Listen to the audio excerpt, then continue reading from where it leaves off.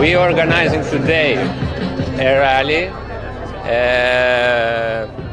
that we want to, and we want to say that we are opposed to uh, the camps, open style or closed style, uh, that the government wants to, to build.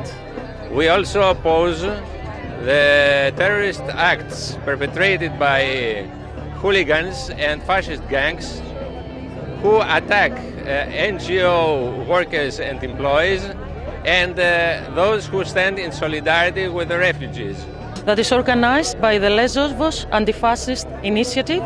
against detention centers. Okay, this is a really important concentration because it has a really symbolic character